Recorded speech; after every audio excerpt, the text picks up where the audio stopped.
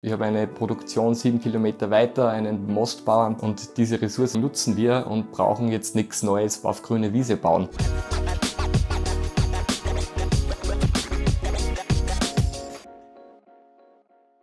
Hallo, ich bin der Leitner Peter und ich mache das weiße Cola aus dem Müllviertel, das sogenannte Beda Cola. Als Koch war für mich immer die Herausforderung, regionale Kräuter zu verwenden und äh, in meine Gerichte einzubauen. Und aus dieser Philosophie ist dann eigentlich entstanden, ein regionales Cola-Aroma zu entwickeln.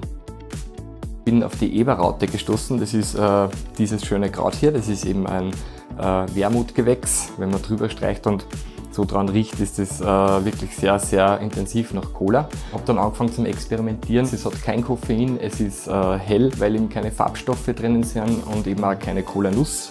Und aus dem Ganzen ist dann äh, sozusagen das Beta Cola entstanden.